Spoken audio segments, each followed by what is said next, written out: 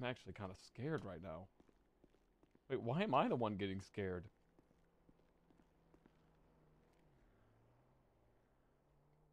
Huh? What the fuck? Hell no! What?